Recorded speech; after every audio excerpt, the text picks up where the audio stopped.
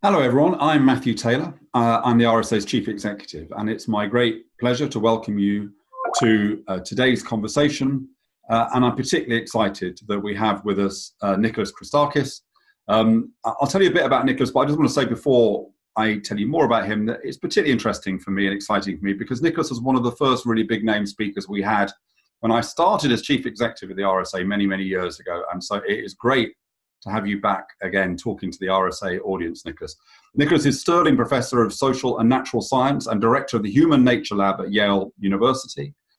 Um, as a physician, sociologist, leading network scientist, he's got a unique set of insights into the extraordinary global crisis that we're all currently living through. So, Nicholas, thank you so much for joining us. It's great to have a, a chance to talk to you uh, again. And first of all, how are you? well, thank you very much for having me back. It's a bit of an odd experience, obviously, that we're all working from home. Uh, we're fine. My wife and I, and our adult children, and we have a, a newly adopted 10 uh, year old boy, uh, are all hunkered down in our, um, in our home in uh, the northern part of the United States. It's a peculiar characteristic of the crisis, isn't it? That, that many people, possibly people like us who spend a lot of our time kind of writing and reading anyway, that in some ways it, you know, it's quite nice being isolated, spending more time with family, a bit more peace and quiet. Do you think that makes it harder for us to engage with the scale of the crisis when quite often it feels very different for us personally? Well, you've highlighted several ideas actually in that. First is the fact that this um, the the expectations that have been put on us for in terms of so, social isolation and physical distancing uh, affect people differently based on their personality. You know, some of us are more introverted or more misanthropic, you know, uh, based on our household arrangements. Some of us have children, some don't, based on our occupation. Some of us can work from home, some cannot. So you're right to highlight that. But another part of your idea was the fact that, in a way, unlike something like a war or a riot or, or some kind of collective challenge, or or like the Chernobyl disaster, for example, uh, where, where everyone could see everyone else experiencing this condition. Right now, we're all isolated from each other, kind of dimly aware of what's happening, as it were. So it, it's a bit odd where we're having a kind of collective catastrophe, but we're experiencing it separately. Um, you know, separated one from the other.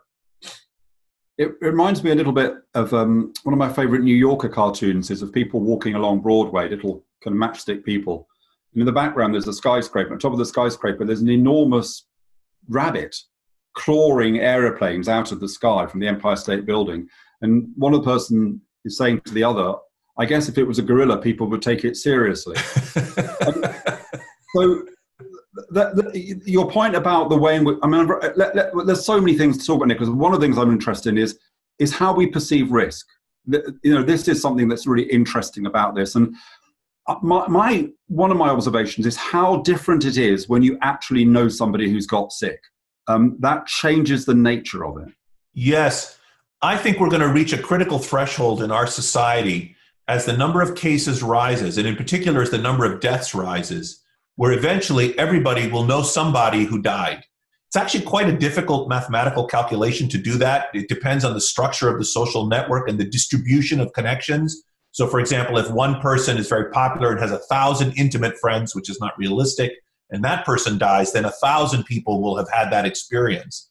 Obviously, we're also talking about celebrities. I'm, I'm mindful of the fact that the British Prime Minister is, is quite ill at the moment, and I hope he recovers. Uh, and we've had other famous people who've been affected and, and they get everyone's attention. But what you're asking is a little different, which is when people personally come to know other individuals who are sick. And right now it's uncommon. But we know from past work, for example, with the increasing normalization of homosexuality in our society, we had this cascade effect whereas people began to come out of the closet and then more and more people came out of the closet. Eventually, when there were so many people out of the closet, everyone knew someone. Their brother was gay, their sister was gay, their uncle, their friend, their coworker, and it, it helped. It helped to dramatically, you know, improve. Uh, in my view, this this development was a phenomenally positive development in our society. But it had this cascade effect where people could knew somebody, and that made a difference in their thinking because that person was a nice person and a normal person, and so on. So I think the same thing is likely to happen with COVID. As the number of cases rises, eventually everybody will know someone who died uh, or was seriously ill, and this will get people's attention even more, and I think will make them more willing to pay some of the necessary sacrifices we all are going to have to pay to cope with this very unusual event in our lives, which is the you know the introduction of a new pathogen into our species.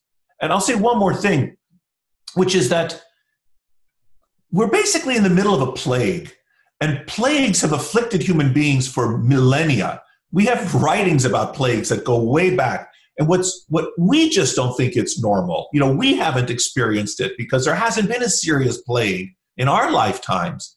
But but it's but it's not an uncommon thing to happen in our species or in in, in human uh, civilization. And so I think we we just need to come to terms with the fact that this is a time of plague and there are unusual things that we're going to have to do in order to cope with it. Nicholas, you're a very high profile thinker, and you, have particularly carved out the space of the kind of relationship between science and society, using science to understand society, the relation, but also the relationship between kind of social attitudes and scientific change. You must have been, I'm sure you have, I know you have, been called upon a lot as this crisis has unfolded to give people advice, but also to yourself innovate in relation to response to it. So tell us some of the things that you've been asked to do and some of the things you've been involved in doing in just the last few weeks. Right. Well, I, I, can't, I can't discuss all of the uh, the people that I, I have uh, spoken with. I mean, I was pleased that the Prime Minister of Greece actually uh, reached out a few weeks ago, and I had a very interesting conversation with him um, regarding um, the Greece's particular response. And I think Greece saw what was happening in Italy, was quite alarmed, and was motivated to take action more swiftly. And I'm very pleased that Greece seems to be doing reasonably well uh, compared to other European countries. And other similar such individuals I have, have in fact been speaking to. What happened though in my own life was much more humdrum and modest, which is beginning around January the 24th. I, I've had a long term collaboration with some Chinese scientists and I was dimly aware of what was happening in Wuhan in January. But around the 24th or 25th of, of January, they wrote to me and said that they had certain kinds of data that could be useful in studying this, this new epidemic in China. And so I began working in earnest with them on January the 24th. And it was one of the more exciting moments in my scientific career um, in terms of the intensity of the work because we, they were on the other side of the globe, 12 hours different from me. We were basically working round the clock as a team from the 24th of January, when incidentally the Chinese clamped down on their nation and uh, regulations were promulgated that restricted the movements of 930 million people. So 1 billion people were put under a form of home confinement beginning January the 24th or 25th. And this also got my attention because I thought to myself, the Chinese have basically detonated a social nuclear weapon. They, they see this threat as so severe that they have actually taken this extraordinary step. And so the enemy, that is to say, the virus, must be a powerful foe uh, or is likely to be a powerful foe. Anyway, so I was working intensely with my these colleagues uh, for the three week period, and we submitted the manuscript on the 18th of February, and we hope it'll be will be out will be published soon in the next week or two. Uh, and then I began to think of other stuff that I could do uh, using the science in my lab. And in 2009, we had done some work with the H1N1 uh, epidemic using social networks. And we had invented some ideas about how you could take advantage of, of people's position in social networks to create a kind of uh, canary in a coal mine idea, kind of sensor network. Like if we could identify certain people in the social fabric uh, they would be more likely to get infected sooner than others. And, and, and this tracking or some kind of tracking of that kind, voluntarily done, would allow us to forecast the course of the epidemic. So we had, we had invented those ideas about H1N1 and published them in 2009. So I thought well, we could resurrect those and create an app in 2020 that could be quite useful for human beings to cope with when we emerge from lockdown uh, to, to see when the epidemic is striking again, where uh, and in which populations. And furthermore, there will be a second wave of this epidemic almost for sure in the fall, in October November in the Northern Hemisphere in 2020. This app could help us that. That app is called Hunala, H U N A L A, and will be hopefully available very soon. Anyway, so my laboratory, so I increasingly turned my laboratory, which is a group of about 20 or 30 people, to work more and more uh, on coronavirus. Like many labs around the country, I mean, around the world. I mean, the scientists around the world are sort of dropping what they're doing and tackling the pandemic. And in some ways, it's almost it, it's almost a sinful delight in the sense that you know it's it's like so exciting to be working on such an important problem and to just throw oneself over to one's work in this fashion. But of course, it's prompted by a very serious threat that human beings are facing. It's you know it's it's it, we're trying to avoid death and destruction, and yet death and destruction are near. So it's it's a bit of an awkward thing, but nevertheless, I increasingly directed some of the very talented young scientists and engineers in my lab to start working on these topics. And I would say about half of my lab's capacity is now working full time on coronavirus.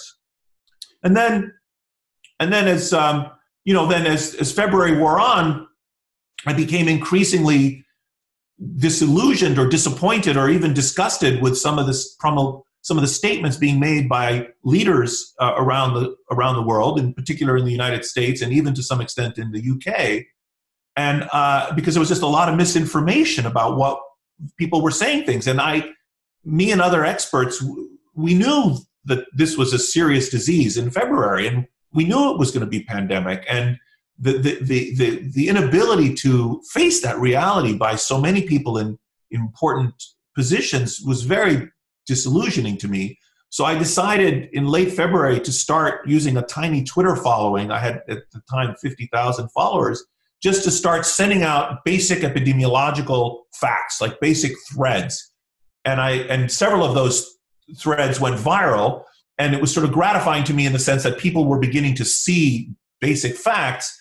And then I started to get some press inquiries and I decided to spend some time trying to advance the public understanding of science. So then I started also spending a little time, you know, like interviews like this, basically trying to help people understand the unusual nature of this particular threat. Anyways, I haven't slept much in, in two months or two and a half months because that's what I, it's been all coronavirus all the time.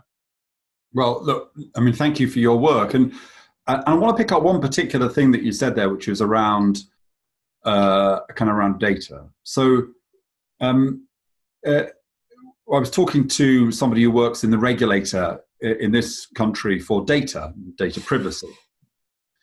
Um, and we, you know, obviously they're thinking about some of the kind of implications of this, possibly in a kind of transitional period where we're at, where we're no having no longer having lockdown, but but but life is far from normal. And he said, of course, this will be so much easier if we're able to verify that some people have had the disease and have got immunity, in countries that have got a, a unique digital signature for every citizen, this will be a very simple thing because they'll be able to attach it to the digital signature and you'll know who's immune and who's not. In other countries, it won't. Now, the reason I think this is significant is the way in which crises like this shape our behaviors. So, our view here, Nicholas, I'm really interested to, to see whether you concur with this, is that the reason a crisis drives change is because before the crisis, there already was a case for change. There already was some capacity for change. It doesn't come from nowhere. Then the crisis reinforces, accelerates that, both in terms of attitudes, but also certain practices which prefigure the future.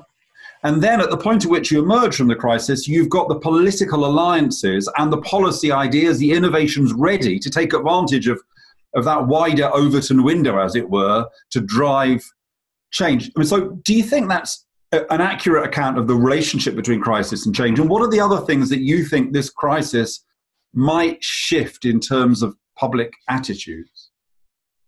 Well, you, you, it's, it's, interesting because I, I, think you're absolutely right. And we know from past uh, pandemics that there have been shifts in behavior. So, um, that were very dramatic. And for example, while it wasn't quite a pandemic, it was certainly epidemic. HIV. When I, I, was, I'm a hospice doctor, and I was trained as an internal as an internist. And in the 1980s and 1990s, when I was a young doctor, HIV was a very ascendant concern and was killing people. We sort of forget, like uh, amongst amongst people that were intravenous drug users, amongst uh, homosexual men, amongst uh, people from Haiti. These were the risk groups back then, and uh, uh, for various idiosyncratic reasons, which is how the pathogen happened to take root in these populations. And at the time, there were all kinds of behaviors that were associated with, uh, for example, being gay, uh, including, for example, uh, there were uh, so-called bathhouses in San Francisco where you could have sex with many other people if you wanted. Condom use was low, and so on. Uh, and these behaviors all changed, right, dramatically within a course of a few years. Things that were very deeply personal about people's sexual behaviors the, the impact of the pathogen changed them. Or to pick a different example, with the 1918 influenza pandemic, maybe, maybe, I mean, I actually hadn't zeroed in on this until recently. You know how in, in Westerns there's always a spittoon? You know, there's like a, a brass thing that you spit in when you go into a bar and all this stuff. And there were spittoons everywhere. And, and these, you know, you can now find them in antique shops. They were sort of curiosities like these spittoons. Well, why? What got rid of the spittoons? Did, did people previously used to spit a lot and then now they don't need to spit? Or what happened? Well, it turned out it was socially normative to spit in public, for instance, into a spittoon prior to 1918. But with the 1918 pandemic, they realized that this was a risk, a risk. And there were even big billboards that said spit equals death, for example, on the back of, of trolley cars in cities in the United States. And behavior changed. People stopped spitting in public, and the spittoons were you know, eliminated, and I, I, don't think there's probably a single spittoon in all of London. Maybe there is in a someplace. But anyway, the point is, you're right to highlight how epidemic disease can change behavior, even behavior that is considered to be so normative. One of the things that I've been tracking, and I'll come to your specific example about privacy in just a moment, having set this background. One of the things I've been tracking is all the ways in which this epidemic is going to change rules regarding the provision of health care, healthcare in the United States for the better. So, for example, there's been a lot of people have always said, well, why do I need to go see my doctor if I just need my prescription refilled? Seems very wasteful. I have to go see the doctor, I wait, the doctor has to waste time. Why can't I just call the doctor and have the doctor refill my prescription online? Well, the Chinese moved half their healthcare online during the, you know, in December and in, in January, or rather in January and February. And America right now is doing the same thing. Like the hospitals that I'm affiliated with are radically changing rules and regulations. The insurance companies don't require you to go see your therapist face to face in order for the therapist to bill. They are rightly realizing the therapist can provide almost as good a service, you know, using this type of medium. And so why shouldn't they pay for it? So and, and rules regarding licensure, like previously doctors were licensed state by state. Now all the states are saying, no, no, it's fine. Any doctor who wants to come can practice. These rules were always silly. So all of these things are changing with respect to healthcare. Now, your example specifically had to do with privacy. And here, I don't know if the trend, here I'm worried, and I don't know if the, the epidemic will necessarily have beneficial changes. So the Europeans in general had been moving more and more to respect privacy. But there are many ways in which technological tools have been used, for example, in China in Singapore, in South Korea, in Taiwan, in ways that in Europe and in the United North America we might regard as uh, in, un- in unacceptable intrusions. Like the state will track where you are and who you've talked to, in partnership with firms, for instance. Or you'll have some kind of digital passport, as you suggested, that now appends to it your immunity status with respect to coronavirus. And, uh, and to me, some of these things I recognize that they would be incredibly useful. And we can talk about that if you want, like ways in which it would be useful in enforcing quarantine or in, or in facilitating contact tracing or in reliably identifying who is and who is not immune. All of these things would be very useful. But I would be very wary of rapidly going to uh, relaxing our standards of privacy and incidentally other civil liberties, which I also think in a time of plague it's very common for the far left and the far right to seize power. And I'm very worried about that. And I'm beginning to see indications of that around the world. And I do not think we, we need to surrender our civil liberties in order to effectively fight the uh, coronavirus. In fact, in some ways, the opposite. In some ways, we're going to beat this virus by transparency, by honesty, by integrity, by open communication among scientists, by encouraging people to work together and not be suspicious of each other. Suspicion, censorship, silence, these things will, will undermine our ability to work together to fight the virus. And in any case, I don't see them as consistent with human nature, which is another whole topic. Well, I'd like to get into that topic now because if, if you were speaking to us in in more typical times, Nicholas, we would be uh, getting you to talking about this uh, splendid uh, book, which is uh, been um, uh, lifting my spirits in self isolation over the last few days. Now, uh, I, I, mean, there's so much in the book that is relevant to this conversation, but I want to just pick a couple of things. So, we're doing a lot of work about how the how how the pandemic might change the world. But one of the things you want to say in the book is that there's only so far you can change the way in which societies work. You have this phrase, the social suite, which is the characteristics of successful societies, and you want to say that they're that they're kind of universal. So, would I be right in saying that what you want to say is that when we think about change after the virus, don't think that you can invent a type of society that's never existed before, because that's extremely unlikely. We've been around for a long time, and our human nature is pretty fixed. But what we could do is have a society which is a better reflection of that social suite, a better reflection of what we know about what makes us happy and what makes society tick. Would that would that be your kind of your your position, Nicholas? Yes, I mean I would, you know, and I, I know that I know that I'm an optimist and that I'm I'm um a very positive regard for humanity. Like I think I think well of our species. You know, I'm very impressed with us as an animal. And um and find many of our qualities magnificent and worthy of admiration. And um, you know, the subtitle of the book is "The Evolutionary Origins of a Good Society," and the book is about how natural selection shaped not just the structure and function of our bodies, as many people understand and accept, nor just the structure and function of our minds and our behaviors, but how natural selection also shaped the structure and function of our societies, how we live together. And uh, and in fact shape those societies to be good and to have these good qualities. For example, love and friendship and cooperation and teaching.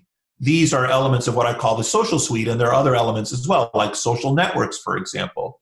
And um, what's amazing about a lot of those qualities, these are these are all qualities that we manifest between. We love each other, we are befriend each other, we cooperate with each other, we teach each other, right? These are not things that we do. We don't love ourselves or befriend ourselves, for example. We learn on our own, but we don't teach ourselves. We teach someone else. These are all very actually unusual and rare properties in the animal kingdom. Many animals can learn on their own independently. A little fish in the sea can learn that if it swims up to the light, it'll find food there. Some animals learn socially, and this is very efficient. You put your hand in the fire, you learn that it burns you. That's independent learning. Or I can watch you put your hand in the fire, and I get almost as much knowledge, but I pay none of the price. That's really efficient social learning. Or, or you eat red berries and you die. I watch you eat red berries. I say, oh my God, I shouldn't eat red berries. I learned a lot and I paid no price. That's magnificent. But we do something that's even more uncommon. We affirmatively teach each other things. I teach you how to build a fire. And this is exceptionally rare in the animal kingdom, but it's universal in us, and we take it for granted. Now, why are all these things important? Because the germ, the pathogen, the coronavirus, is exploiting some aspects of how we live together. The germ, if we lived as isolated individuals, uh, like some animals, you know, and had no contact with each other, we wouldn't be subject to contagious diseases that spread by interpersonal contact. So the germ takes advantage of our natural tendency to befriend each other, to assemble in groups, to touch and hug each other and console each other. And it uses those against us to spread. So, in a way, right now, we're being called upon to suspend those very natural tendencies and to engage in physical distancing. But there are other natural qualities we have which the germ does not take away. For example, as I mentioned, our probability of our, or our capacity for cooperation. So even as the germ is obliging us to abandon our physical contact with each other, it does not suspend our capacity to cooperate. So while I'm physically distancing from you, I need to band together with you to fight this pathogen. And we are a cooperative species, which is terrific. And teaching.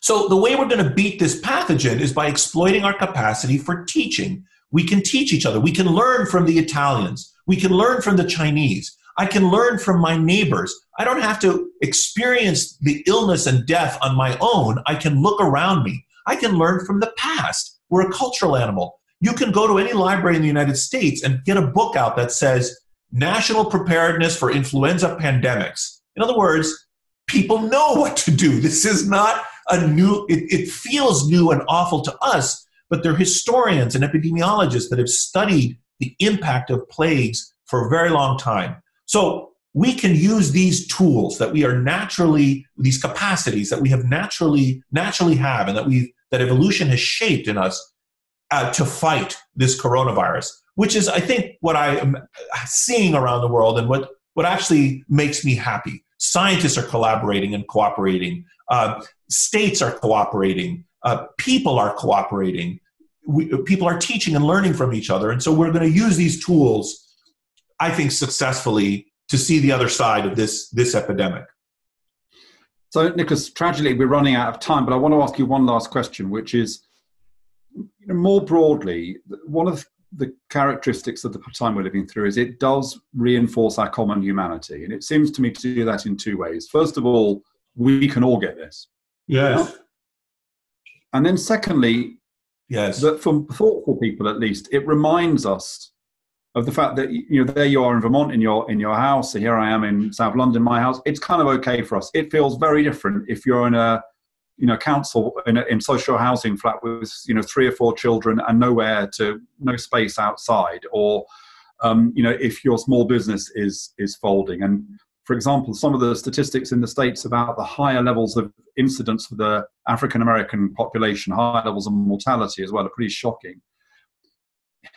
I know it's a big question, but what do you think will determine whether or not we draw the right lessons from this? Because there is, of course, another story a story of polarization, a story of blaming people, yes. a story of division. And you know, your book has a fascinating chapter which I recommend to people about how people cope with shipwrecks. And sometimes they cope really, really well and most people survive and people actually look back on it with some pleasure and other times it's a very different story so if i had to put you on the spot and say because what what is the key character the key factor that's going to determine whether we come out of this into a better world or a worse world Okay, you're very right to highlight all of those things in my view, and I have been thinking about them too. And, and there are moments when I get very depressed by by them. So first of all, you highlighted the fact that on some level, this is a, a, a, threat to all of us. It's a pathogen, it spreads from person to person. Um, and it, if anything, it should highlight our shared vulnerability and our common humanity, uh, which is a, a, theme and an idea that I very much, um, you know, espouse. But you're also right that there are classic cleavages in our society between the rich and the poor, and um, and and uh, other divisions in our society that that may be magnified uh, by this. Uh, it, it is not a coincidence, you know, since time immemorial, when plagues have stricken, people and states have blamed other states. You saw this even play out in the de- in the debate about the proper naming of this particular pathogen. You know, 1918 was called the Spanish flu. You know, during the during the uh, during the 16th century, when there were epidemics of syphilis, you know the french called it the spanish pox and the spanish called it the french pox and you know everyone was trying to blame someone else for this you know pox and uh, and so that also has played out there's always this notion of like it's outsiders that are to blame and so it, it these these epidemics and these times of stress can certainly call forward vile parts of our nature our, our tendency to to to to dif- distance ourselves from each other to to reinforce us versus them uh, dynamic. So even though the German, on one level, as you highlight, is highlighting our common humanity and our shared vulnerability, at the same time, it might elicit from us the opposite idea, which is, oh no, you know, we can shut our borders and protect us. Mathematicians and epidemi- epidemiologists have studied this repeatedly. In the times of pandemics, unless you're an island state like New Zealand, for example, and you act very fast, uh, you by the time you detect the pandemic, it's too late to shut your borders. Borders shutting really doesn't help much. Same in Europe. The idea that you're going to close borders between European states and stop the epidemic at the border is silly, honestly. And at best, it postpones the epidemic by a week or two or three or something like that. It still comes. The germ is everywhere. And so, and so, so there is this way in which the, the pathogen or an epidemic, a time of epidemic, tempts us to our darker, you know, our darker side, but also I think calls for the better angels of our nature. And and that's the side that, I, in my view, is going to allow us to beat the the uh, pandemic back, not the dark side. Well, thank you for that, Nicholas. And um, if we had more time, I would I I, I probe more because one of the concepts I really liked in the book was this notion of kind of mild hierarchy. That actually, what you need is you need hierarchy. You can't do without it. It needs to be a particular type of leadership. And well, maybe maybe we'll find time to have that. Yes, discussion. I'd be happy to. I'd be happy to come back and talk again if you want. So, thank you so much for your time, uh, uh, Nicholas. Um, as I said earlier, um, this book, uh, Blueprint, is fantastic. It's out in paperback, but it might be more realistic to get it as an ebook, I guess, right now, if you're social isolating. I can strongly recommend it, as I can all of uh, Nicholas's work. Before we sign off, a quick reminder to everyone watching to stay tuned to the RSA's channel in the coming weeks for all the latest online events and uh, podcast. So do look out for announcements as well as news about our policy development and, of course, the work of our 30,000 strong global fellowship network. So finally, thank you again to you, Nicholas Christakis, and thanks to all of you for watching. Thank you so much, Matthew. Thank you for having me. Thank you.